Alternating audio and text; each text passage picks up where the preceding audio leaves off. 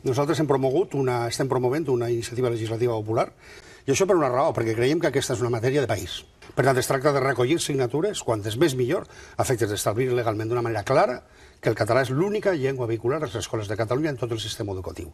Eh, miri una cosa, en la Constitució, en el seu moment, es diu allò de les llengües espanyoles diferents del castellano que són objeto d'especial respecte i protecció.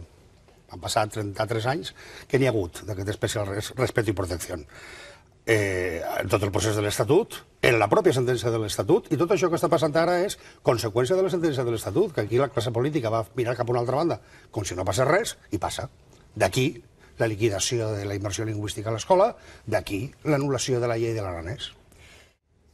Per tant, és anar guanyant temps, anar fent lleis successives que facin que la immersió lingüística continuï en les escoles perquè el Tribunal Constitucional estigui anul·lant lleis que ja no estiguin en vigor, que són anteriors. Senyor López Tena, anar guanyant temps, uh -huh. fins quan i fins cap a on? Fins la independència.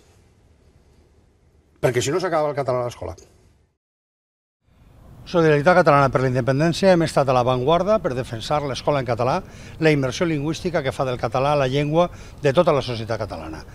A partir del dia 25 de novembre presentarem de nou una llei a efectes de blindar el català a l'escola i que el català sigui l'única llengua vehicular.